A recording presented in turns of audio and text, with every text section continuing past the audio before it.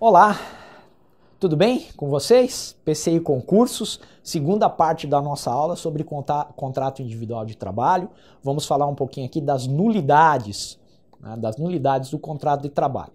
Para que a gente possa entender, eu terminei a aula passada dizendo que há diferenças né, do direito civil para do direito do trabalho, a teoria das nulidades. Talvez a principal diferença, diferença, desculpa, é que a nulidade no contrato de trabalho, ela muitas vezes gera efeitos. Porque há um dogma, há um mantra no direito civil que aquilo que é nulo não gera efeitos. E aí lá há uma divisão entre as, a nulidade, a nulidade e a anulabilidade. Na nulidade não haveria produção de efeitos, como regra. Aqui no direito do trabalho existe a nulidade, essa nulidade ela traz efeitos. Contudo, são duas situações distintas a do trabalho proibido e a do trabalho ilícito. Basicamente, no trabalho proibido, apesar da nulidade, eu tenho a produção de efeitos, de efeitos trabalhistas, a necessidade de pagamento do salário, a necessidade de pagamento de todas as verbas salariais e rescisórias é, típicas da relação empregatícia, mesmo que esse contrato seja nulo porque violou uma regra protetiva trabalhista violou uma norma cogente. É, podemos aqui, já para que você fique, é, fique bem claro, exemplificar com a situação do menor de 14 anos. O trabalho no Brasil é proibido aos menores de 14 anos, não importa a condição. Veja, a partir dos 14, nós, excepcionalmente, é possível o trabalho como aprendiz. Dos 14 aos 24 anos é possível a aprendizagem, com prioridade, com foco na faixa entre 14 e 18 anos, certo? Então, o contrato de aprendizagem é possível a partir dos 14. A partir dos 16 é possível qualquer trabalho do jovem adolescente, exceção ao trabalho insalubre, perigoso ou noturno. E a partir dos 18 anos, qualquer trabalho, o trabalho é livre, diz a Constituição, qualquer trabalho se mostra possível a partir dos 18 anos. Lembrando que há certas profissões perigosíssimas que exigem, por é, circunstâncias legais muito específicas, até uma idade maior que 18, 21 anos, o transporte de produtos inflamáveis, ser motorista de um caminhão que transporta líquidos inflamáveis sujeitos à explosão. Então, nós temos é, a, a partir dos 18, como regra, o trabalho é permitido, entre 16 e 18, permitido, exceto noturno, insalubre ou perigoso, e entre 14, a partir dos entre 14 e 16, ou melhor, de 14 a 24, é possível o trabalho como aprendiz. Antes dos 14 anos não é permitido ao trabalho, mas suponhamos o trabalho infantil é uma chaga social ainda presente. Nós temos em torno de 3 milhões de crianças no Brasil em situação de trabalho, principalmente naqueles estados da nossa federação que são mais pobres, que sofrem mais com, as, eh, com os problemas associados à, à pobreza, eh, problemas sociais, mazelas que infelizmente ainda é, insistem no, existem no mundo todo, em especial em países em desenvolvimento, como é o caso do Brasil. Temos aqui também o trabalho escravo, uma outra triste realidade. Né? E é uma realidade comprovada estatisticamente por, por, por, dados reais, realistas, ok? Então, veja, esse menor de 14 anos é proibido o trabalho. Por quê? Porque coloca é, é esse, essa criança, esse adolescente, é, em condição de especial desenvolvimento, o princípio da proteção integral do Estatuto da Criança e do Adolescente, que tem base constitucional no artigo 227 da Constituição, é, esse adolescente ele não pode ter violado essa sua condição peculiar, especial de ser humano em desenvolvimento. Ah, então, o trabalho não pode violar a sua integridade psicofísica, ah, a sua integridade como ser humano. Neste caso, embora seja proibido, o contrato gerará efeitos. É nulo, o trabalho proibido traz a nulidade, mas será necessária necessário que o empregador, aquele que se valeu da prestação de serviços dessa criança, desse jovem, desse adolescente menor de 14 anos, que ele efetue o pagamento dos salários. Para dos salários e de, to de todas as verbas salariais é, rescisórias decorrentes dessa contratação. Tem doutrina que diz que não, que há apenas a necessidade de pagamento dos salários e depósito do fundo de garantia por tempo de serviço e nada mais. Prevalece a corrente majoritária, até mesmo para evitar um enriquecimento sem causa, para preservar a boa-fé, para preservar a função social do contrato, princípios do Código Civil, né, o caráter de eticidade dos contratos, é necessário que sejam pagas todas todas as verbas salariais rescisórias decorrentes dessa contratação que foi tida como nula. Não só no caso dos menores, quaisquer outras hipóteses em que o trabalho for proibido, a nulidade gerará efeitos. Diferente é a situação do trabalho ilícito, que é aquele trabalho, é, para que eu falei na aula passada, mas para que fique claro, é aquele trabalho que viola, contraria a lei penal. Ok? Nesse caso, atividades criminosas, eu tenho o trabalho ilícito. Aqui não há que se falar em direitos. Aqui o objeto é ilícito, portanto, esse contrato não é válido. Ele é igualmente nulo, mas dele não advém quaisquer efeitos. Tudo bem? Tranquilo? Vamos lá para o quadro? Vejam. Trabalho proibido, como eu disse, gera efeitos trabalhistas.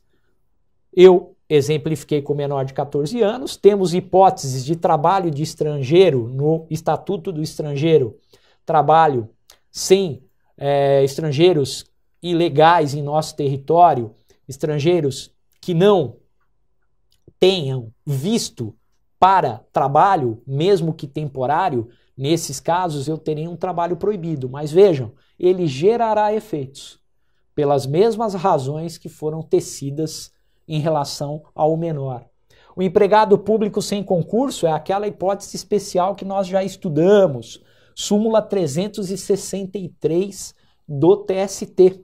O empregado público sem concurso viola a regra constitucional do concurso público, a ele serão devidos o salário e o FGTS, por uma construção jurisprudencial. Ao policial militar também vimos até o entendimento jurisprudencial tá? que o policial militar, quando ele faz bico, é possível a, o reconhecimento da relação empregatícia e, no âmbito militar, ele poderá responder disciplinarmente, certo? Mas o trabalho será proibido e não impedirá os efeitos trabalhistas típicos. Trabalho ilícito, diferentemente, não gera qualquer efeito, Trouxemos aqui o jogo, o jogo do bicho, o matador de aluguel, o contrabandista, né? A gente até ri, né? ri porque são situações realmente que saltam aos olhos, né? E nós sabemos que o jogo do bicho é uma contravenção, nós sabemos contravenção penal, portanto, as contravenções, os crimes propriamente ditos, esse tipo de trabalho não gerará qualquer efeito, não terá a proteção jurídica trabalhista. Efeitos do contrato de trabalho. Quais são os efeitos principais? Vejam, por parte do empregador, cabe a ele pagar os salários, anotar a CTPS, fornecer equipamentos de proteção individual, naqueles casos em que se fizerem necessários, e pelo empregado, a prestação pessoal de serviços, o caráter personalíssimo da contratação, agir diligentemente, guiado pela boa fé, ser assíduo, ser pontual, né, obedecer às ordens decorrentes do poder de direção do empregador, do seu poder disciplinar, e os efeitos conexos. Vejam, esses efeitos, eles não são efeitos processo principais, mas eles podem, eles podem estar presentes em determinadas contratações. Uma, um dos efeitos conexos mais interessantes é aquele que envolve os direitos intelectuais, a patente de invenções, as invenções.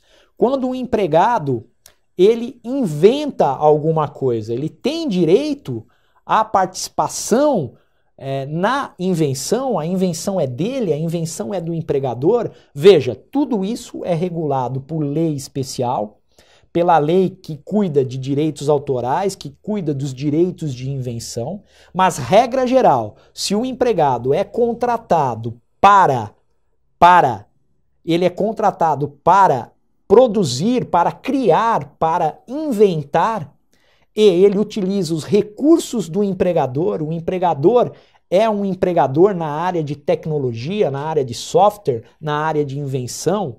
Nesse caso, a invenção, os direitos de invenção, a patente será do empregador. Caberá a esse empregado tão somente o salário ajustado. Obviamente que na contratação poderá haver uma cláusula que, além do salário, garanta um percentual pela exploração econômica dessa invenção. Agora, se você é contratado não para inventar e, e no decorrer da sua relação empregatícia, você, pela sua capacidade criativa e intelectual, inventa alguma coisa em proveito do empregador, aí muda de figura. Aí essa patente, caso essa invenção se dê sem a colaboração, a participação do empregador, a invenção será do empregado. E os direitos decorrentes dessa invenção, da exploração econômica dessa invenção, será do empregado.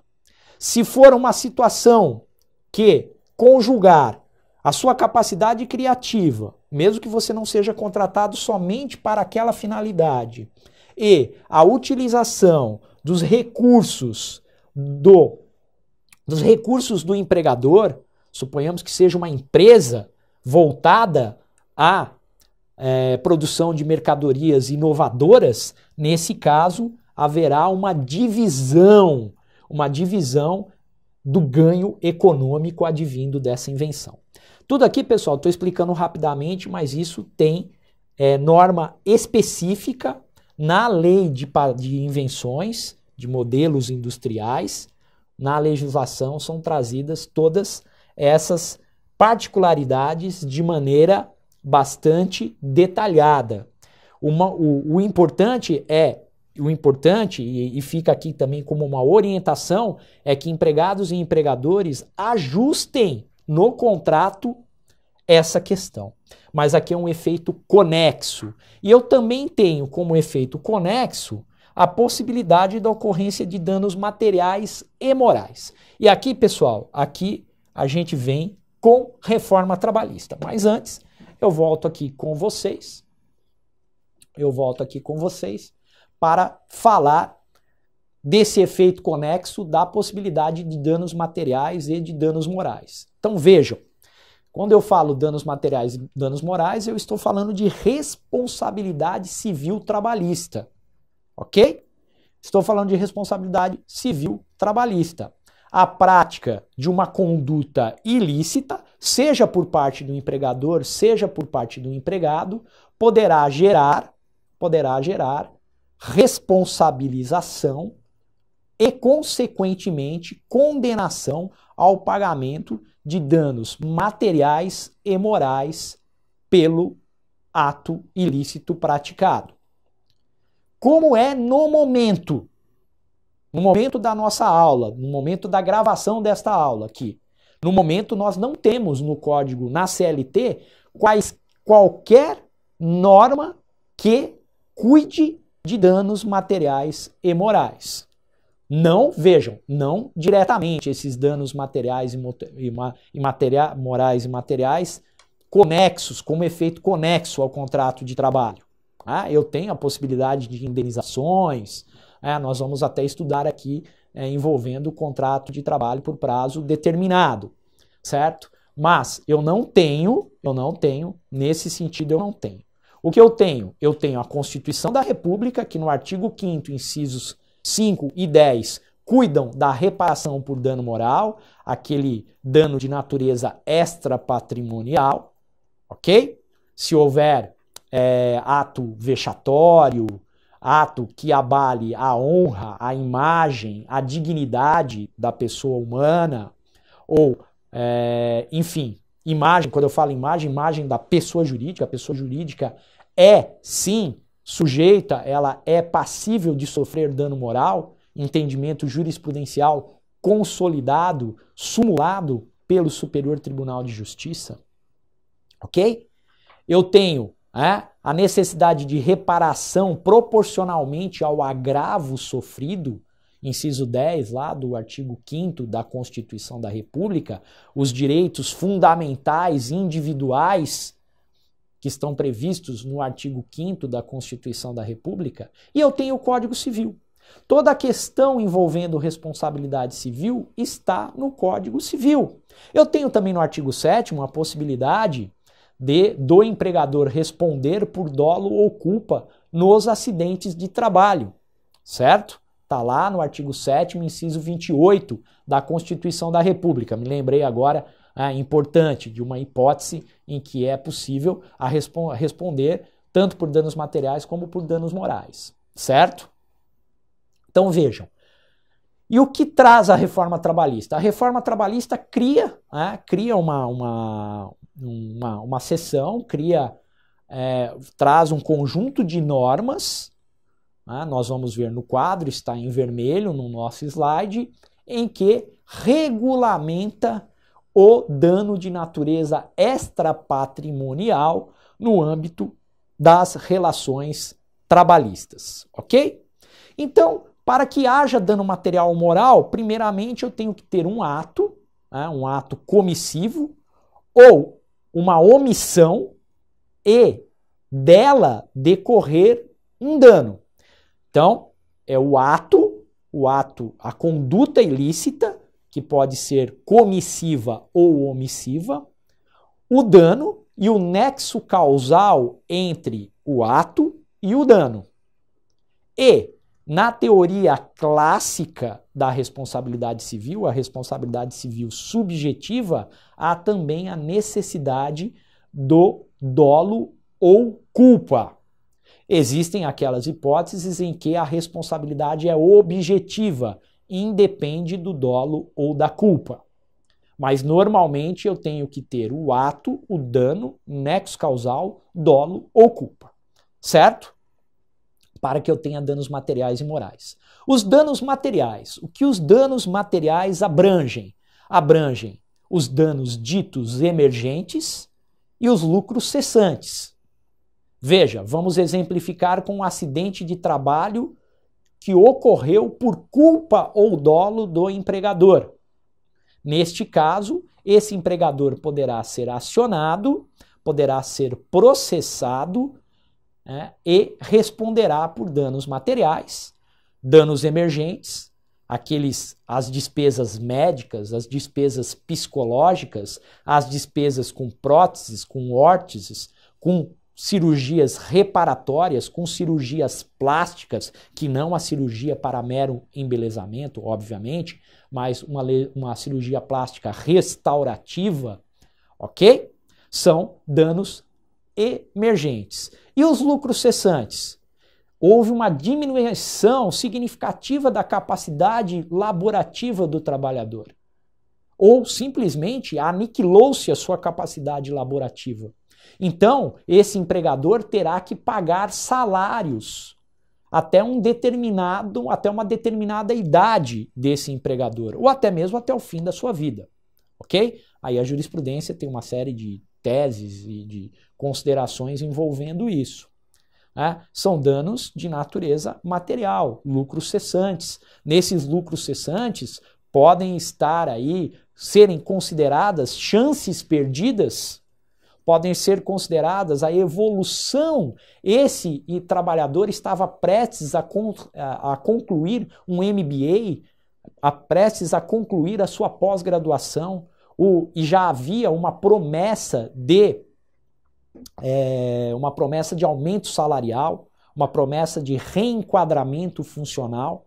Então, tudo isso será levado em consideração para é, cálculo da indenização, da reparação pelos danos materiais sofridos. E os danos tidos como morais? São os danos extrapatrimoniais, são aqueles danos que não é possível uma prova eh, que causam, melhor dizendo, que causam sofrimento, que causam vexame, que causam humilhação, que violam a honra, que violam é, sentimentos que violam, enfim, direitos da personalidade do trabalhador. Então, no acidente de trabalho, fiquei com o rosto desfigurado. Nesse caso, há danos morais e há danos estéticos, que para muitos são coisas diferentes. Né? A família perde o trabalhador em um acidente de trabalho, os herdeiros, os filhos, a esposa têm direito a danos morais. Não há que provar o sofrimento. Você presume que a perda de um ente querido lhe traz sofrimento. É aquilo que a gente chama de dano in re ipsa, que é o dano analisado objetivamente. Aquela perda por si só basta para a configuração do dano moral.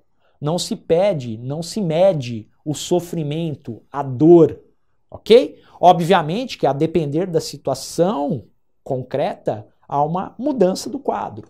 Há uma mudança do quadro. Se é um amigo, você terá que provar é, que esse amigo realmente era um, um super amigo, era alguém com quem você tinha uma relação praticamente de irmandade. Então, obviamente, mas naqueles parentescos próximos, você presume o dano moral. Certo? É? O empregado que é acusado injustamente de ter furtado objetos da empresa é demitido por justa causa, ele poderá pleitear danos morais. O empregado, o trabalhador que é, é, vítima de uma dispensa discriminatória poderá pedir danos morais porque é portador do vírus HIV, porque tem depressão, porque tem câncer, porque tem uma doença grave e por conta disso, de forma discriminatória, é demitido, se ele provar a discriminação por si só, haverá danos morais. Base constitucional, base do Código Civil e agora a reforma traz a base, um, traz um capítulo em que fala sobre o dano extrapatrimonial. E qual que é o grande problema da reforma? O grande problema da reforma é que ela tarifou o dano moral. Ela divide os danos morais extrapatrimoniais em leve, de caráter médio, de caráter grave, de caráter gravíssimo e vincula o valor da indenização, da reparação conforme o salário percebido pelo trabalhador. E daí parte da doutrina, parte da grande parte da magistratura e o Ministério Público do Trabalho dizem que neste ponto a reforma trabalhista é inconstitucional. Por quê, pessoal? Porque ela cria um critério discriminatório que não se sustenta. Você terá sua dor, vai valer conforme o salário que você recebe. E isso é inconcebível, porque viola a isonomia no seu aspecto substancial. A sua vida não vale menos por conta das, do salário que você percebe o, o Superior Tribunal de Justiça e o próprio Supremo Tribunal Federal já tiveram oportunidade de analisar esse tipo de vinculação e decidir pela inconstitucionalidade. Ok? Como se fixa o dano moral? Arbítrio do juiz. Arbítrio, pessoal, não é arbitrário. Arbítrio é a prudência do juiz com base em vários parâmetros doutrinários que a reforma trabalhista vai trazer, vai, vai normatizar, nós vamos ver. Então, nesse caso, o juiz, utilizando de vários critérios, fixa, arbitra o valor do dano moral de forma prudente, conforme a persuasão, a sua convicção, que por sua vez advém de uma persuasão racional. Ok? Vamos lá para o quadro. Então vejam. O capítulo começa no 223A e vai até o G, 223A a 223G. Veja, vai falar o quê? Que os danos de natureza extrapatrimonial decorrentes da relação de trabalho para a reparação aplicam-se apenas os dispositivos deste título. O que, pessoal, já é um erro, né? Vamos falar aqui. Essa reforma, ela quer domar os juízes trabalhistas. Desculpa pelo termo. Ela quer enquadrar a magistratura trabalhista, como se a norma fosse apenas a expressão literal da lei. Como se a norma não fosse interpretação, como se a norma não estivesse é, adstrita à Constituição da República, aos princípios, às convenções internacionais da Organização Internacional do Trabalho. Ah, todo dia a imprensa está martelando nisso, o que é equivocado, porque a atividade jurisdicional ela não se pauta na literalidade da lei. Não há como aplicar tão somente os dispositivos des, deste título. Você aplica a Constituição, você integra a heterointegração das normas trabalhistas com as normas de direito civil, com as normas que estão em todo o ordenamento jurídico, desde que isso se faça faça sentido, desde que isso é, encontre é, encontre é, uma base constitucional no âmbito de uma hermenêutica sistemática e teleológica, certo? Então vamos lá. Ofendeu a esfera moral ou existencial da pessoa física ou jurídica, dá o direito à reparação. Honra, imagem, intimidade, liberdade, autoestima, sexualidade, saúde, lazer, integridade física são bens juridicamente tutelados inerentes à pessoa física. Por sua vez, a imagem, a marca, o nome, o segredo empresarial, o sigilo da correspondência são bens tutelados inerentes à pessoa jurídica. Todos os que colaboram para o dano são responsáveis pela ofensa, na proporção da ação ou da omissão. É o que diz o 223E. E o F? O F fala a reparação por danos extrapatrimoniais pode ser cumulada com danos materiais decorrentes do mesmo ato lesivo. Por sinal, isso aqui é súmula do Superior Tribunal de Justiça. Todos esses dispositivos repetem o que diz a Constituição e a jurisprudência consolidada, tanto no âmbito civil como trabalhista. Certo? O juiz ele tem que discriminar os valores a título de danos patrimoniais e de danos morais. Como eu disse, perdas e danos compreendem lucros cessantes, danos emergentes, o que não interfere na avaliação dos danos extrapatrimoniais. São coisas diferentes, apesar de advindos de um mesmo fato, dessa possibilidade. Aqui, como eu disse, o 223G também normatiza, traz aquilo que a doutrina e a jurisprudência já consolidaram, como que o juiz aprecia o pedido e fixa, arbitra o valor do dano? Ele vai verificar a natureza do bem jurídico tutelado, a intensidade do sofrimento ou da humilhação, a possibilidade de superação física ou psicológica, os reflexos pessoais e sociais da ação ou da omissão, a extensão e a duração dos efeitos da ofensa, as condições em que ocorreu a ofensa ou o prejuízo moral, o grau de dolo ou culpa, a ocorrência de retratação espontânea, o esforço para minimizar a ofensa, o perdão tácito ou expresso, a situação social e econômica das partes envolvidas, o grau de publicidade da ofensa.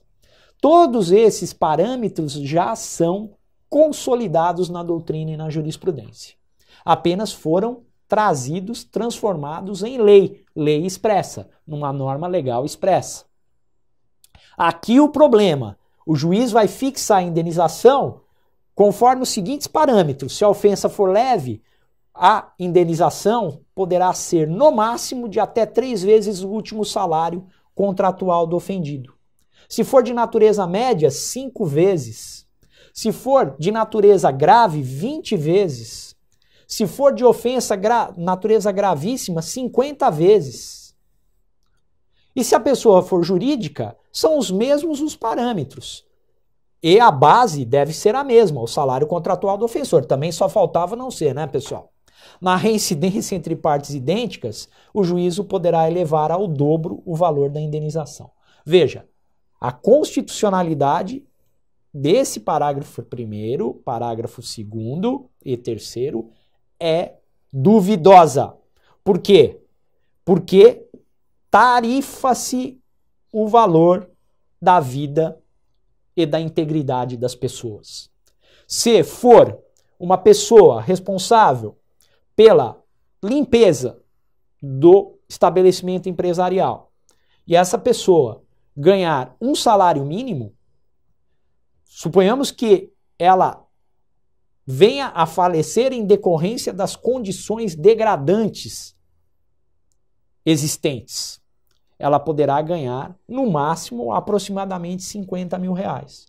Se for um gerente, um superintendente, com um salário de 10 mil reais, essa eu vou ter aqui uma, uma possibilidade de até 50 vezes, ou seja, 500 mil reais de indenização. Então a vida de um, uma pessoa responsável pela limpeza vale menos do que a vida de um gerente?